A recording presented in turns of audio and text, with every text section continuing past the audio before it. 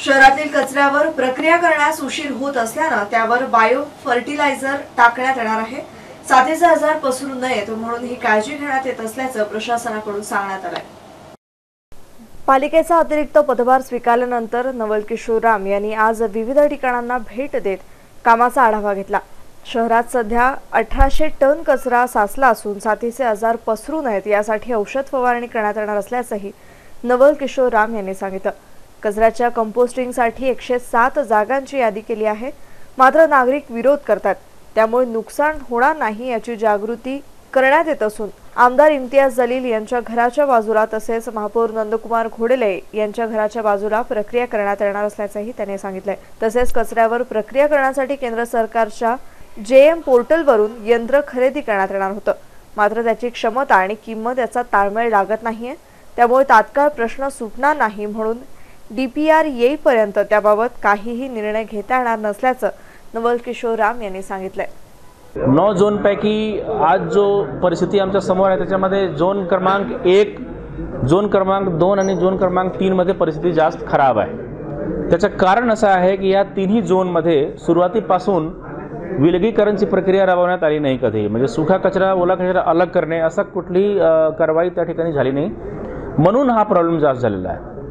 आपण असं पण समजू शकतो की ज्या वॉर्डमध्ये परिस्थिती चांगली आहे जसं की चार पाच सहामध्ये सातमध्ये पण तिथे खूप दिवसपासून तिथे कचरा अलग अलग करून त्याच्या प्रक्रियेवर लोकांचा विचार होता. आणि त्या ठिकाणी काही एन जी ओ महापालिकेचे आपल्या लोकांनी किंवा लोकांनी सुद्धा सहकार्य करून ही प्रक्रिया केलेली आहे.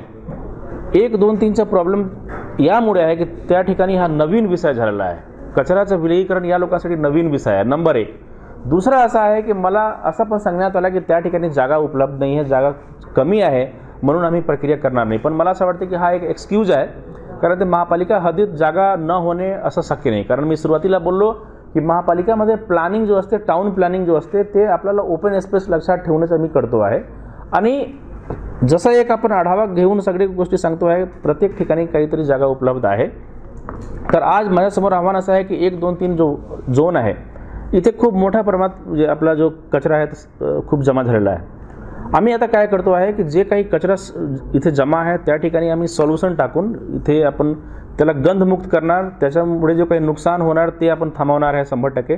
आतापासून सगळे छिडकाव आपण सुरू केला आहे तर फोर्टी एट आवर्समध्ये त्याचे बॅड इम्पॅक्ट संपणार आहे. जर आम्हाला योगायोगाने जागा भेटली तर त्याचा आम्ही एक विल्हेवाट पण लावू शकतो. जर दुर्भाग्य परिस्थिती जर निर्माण झाली की जागा अजिबात नाही तरी त्याचं नुकसान होणार नाही नंबर एक. दुसरं असं आहे की आम्ही त्या ठिकाणी बरेच पिट्स तयार केला आहे. आमचा जो एकूण फिफ आपला जो फिफ्टी सेवन पिट्स आपण केला तर त्याच्यामध्ये झोन एक दोन तीनमध्ये पण बरेच पिट्स आपण सुरू केला आहे. आणि त्या पिट्समध्ये ओला कचरा आम्ही टाकतो आहे. सुखा कचऱ्याचं नियोजन असं करणार आहे की आपला जो ड्राय वेस्ट सेंटर तयार करायचे त्या ठिकाणी रॅक पिकर्स किंवा एन जी ओज मार्फत शंभर टक्के विल्हेवाट लावायचे. हे प्र हे जे प्रश्न आहे मला असं वाटतं की पुढच्या पाच सात दिवसात एक फार मोठा म्हणजे चेंज आपण पाहू शकतो. अडचण आहे नक्कीच आहे. प्रॉब्लेम आहे. पण जसं मी सुरुवातीपासूनच म्हणतो की अडचण आहे पण त्याचा उपाय पण खूप इझी आहे खूप शक्य आहे. आपल्या घरापासून सुखा कचरा आणि ओला कचरा अलग अलग करणे.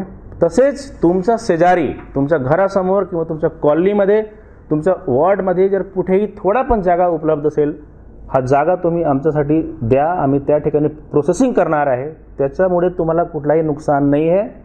तुमचं आरोग्यावर कुठलाही धोका नाही आहे. उलट हा आपल्यासाठी फायदेशीर आहे. गीला कचऱ्याचं कंपोस्टिंग करून आम्ही खत तयार करतो आणि त्याचा खूप सारे फायदे आहे. सुखा कचरा आम्ही एक ठिकाणी आणून त्याचे विल्हेवाट लावण्यासाठी तयारी केलेला आहे. म्हणून आज रोजी महापालिकेला जनतेकडून खूप मोठ्या प्रमाणाचे सहकार्य अपेक्षित आहे.